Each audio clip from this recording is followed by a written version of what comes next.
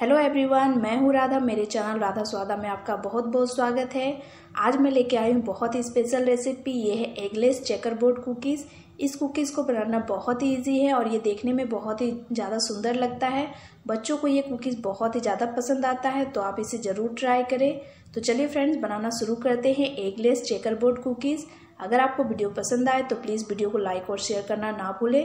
और चैनल पर नए हैं तो प्लीज़ चैनल को सब्सक्राइब करके बेल आइकन को ज़रूर प्रेस करें ताकि आपको मेरे लेटेस्ट वीडियो का नोटिफिकेशन मिलता रहे।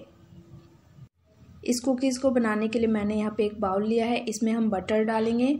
मैंने यहाँ पे 100 ग्राम का बटर लिया है। इसमें हम आधा से थोड़ा सा ज़्यादा डाल देंगे, लगभग 60 ग्राम के करीब। मैंने यहाँ पे बटर लिया। आप चाहे तो घी का भी यूज़ कर सकते हैं। और अब हम इसमें डालेंगे एक कप पाउडर शुगर। और दोनों को हम अच्छे से मिक्स कर लेंगे जब तक ये बिल्कुल फ्लपी और लाइट सा ना हो जाए। तो देखिए, अभी काफ़ी ड्राई सा लग रहा है तो आप इसमें एक से दो चम्मच मिल्क भी ऐड कर सकते हैं। मैं यहाँ पे लगभग एक से दो चम्मच मिल्क ऐड करूँगी और इसे हम अच्छे से मिक्स कर लेंगे। मिल्क डालने से ये बहुत ही अच्छे से मिक्स हो जाता है। यहाँ पे देखिए बटर और घी को मैंने लगभग दो से तीन मिनट अच्छे से फेंट लिया और ये बिल्कुल क्रीम सा हो गया है।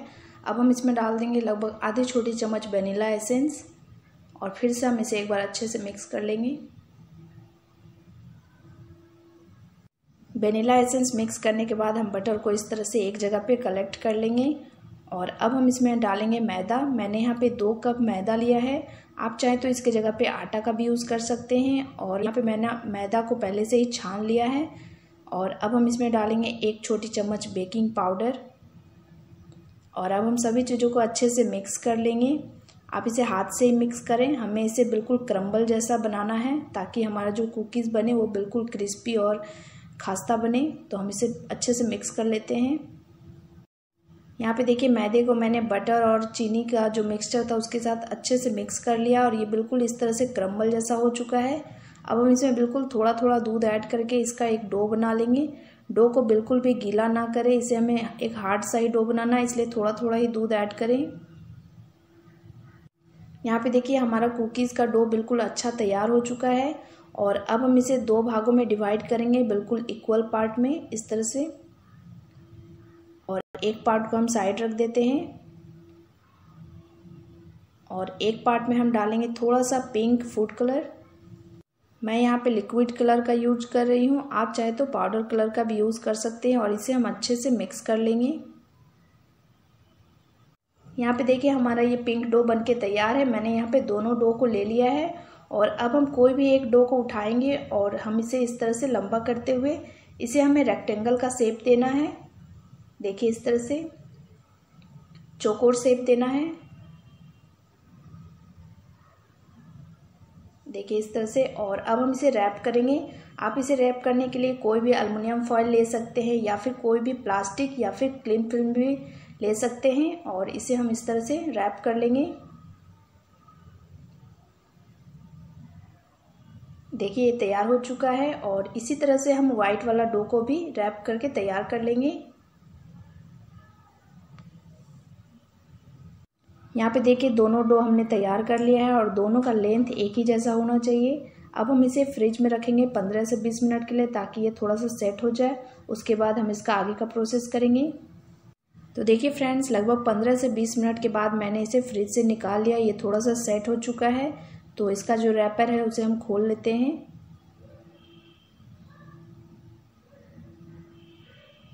और अब हम इसका कटिंग करेंगे। एक हम नाइफ़ लेंगे और इसका हम कटिंग करेंगे तो एक डो को आप तीन भागों में काटें। इस तरह से हम पहले दाग लगा लेंगे और उसके बाद हम इसे कट कर लेंगे। डो को कट करने के लिए बिल्कुल शार्प नाइफ़ लें। तो मैं यहाँ पे दूसरा नाइफ़ लेके इसे इस तरह से कट कर रही हूँ। देखिए इस तरह से। तो यहाँ पे मैंने तीन भागों में इसे कट कर लिया है।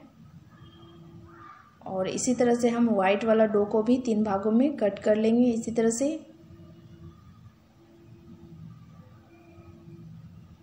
यहाँ पे मैंने दोनों डो का तीन तीन स्लाइस कर लिया है और हल्का हल्का हम इस तरह से प्रेस करके इसे फैला लेंगे और अब हम इसे फिर से असेंबल करेंगे। तो यहाँ पे मैंने एक पहले वाइट स्लाइस लिया है, उसके ऊपर हम फिर से पिंक स्लाइस रखेंगे। देखिए इस तरह से हल्का सा प्रेस कर देंगे। देखिए इस तरह से हो जाएगा और फिर से हम इसके ऊपर वाइट स्लाइस रखेंगे। और हल्का सा प्रेस कर देंगे। देखिए, ये इस तरह से हो चुका है। साइड साइड से वाइट है और बीच में पिंक है।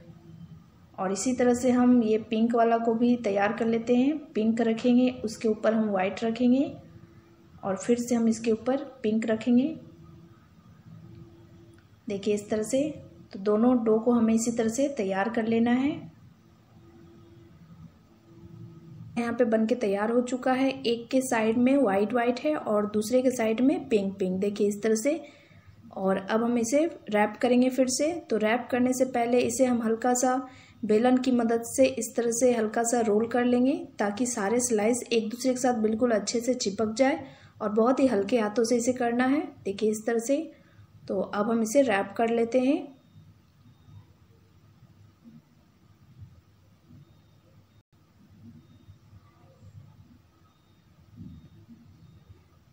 देखिए, ये हो चुका है इस तरह से और दूसरे को भी हम इसी तरह से बेलन से बेल के रैप करके तैयार कर लेंगे।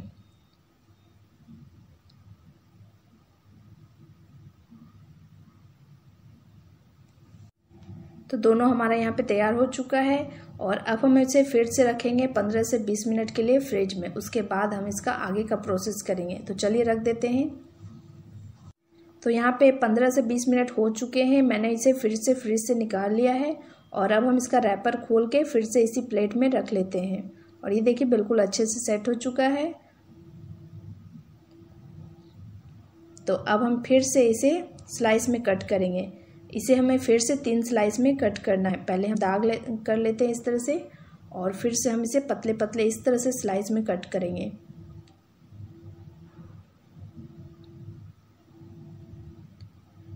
देखिए इस तरह से।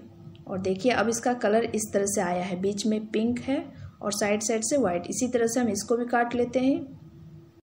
तो यहाँ पे मैंने दोनों डो को कट कर लिया है तीन तीन स्लाइस में। और ये देखिए, बहुत ही अच्छा लग रहा है देखने में। और अब हम इसे इस तरह से असेंबल करेंगे। एक पिंक वाला स्लाइस लेंगे और दूसरे फिर हम इसके ऊपर वाइट वाला रखेंगे। और फिर से हम इसे पिंक वाला रखेंगे इसके ऊपर से।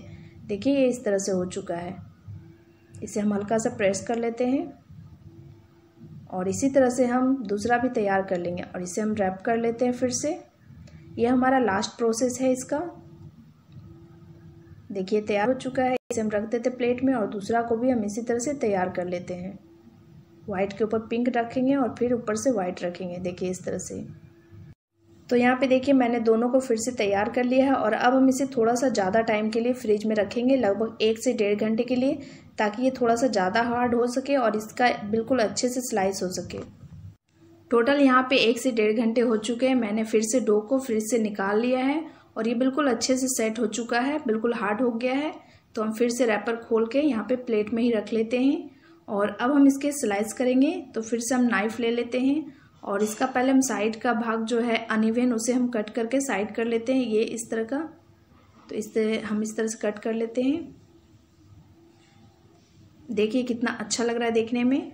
और अब हम इसकी कटिंग करेंगे। जितना भी आपको थिकनेस रखना है कुकीज़ का, उस तरह से आप इसे कट कर लें लगभग हाफ़ इंच की इस तरह से मोटाई में। देखिए कितना अच्छा चेकर बोर्ड बना है। तो सारा हम इसी तरह से कट कर लेते हैं और एक ट्रे में हम रखते जाते हैं। इस तरह से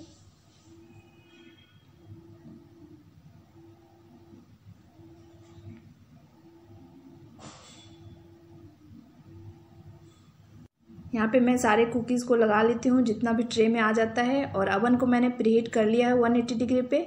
इसे हम लगभग 15 से 20 मिनट के लिए बेक करेंगे 180 डिग्री पे। तो चलिए हम इसे रख देते हैं अवन में। देखिए फ्रेंड्स 17 मिनट का लगभग टाइम लगा है, और हमारे सारे चेकर बोर्ड कुकीज़ बन के तैयार हो चुके हैं, और काफ़ी साइज़ में भी बढ़ गए हैं। तो हम इसे एक एक करके उठा लेते हैं, और इसे हम कूलिंग रैक पे ठंडा होने के लिए रख देंगे, ताकि ये बिल्कुल क्रिस्पी बने।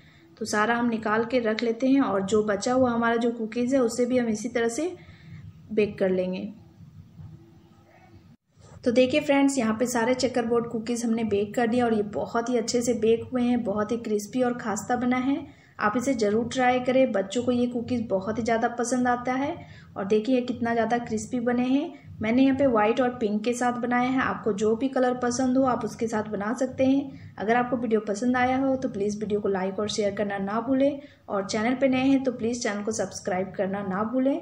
तो फिर मिलते हैं किसी और भी इसी तरह की नई रेसिपी के साथ। तब तक के लिए थैंक यू बाय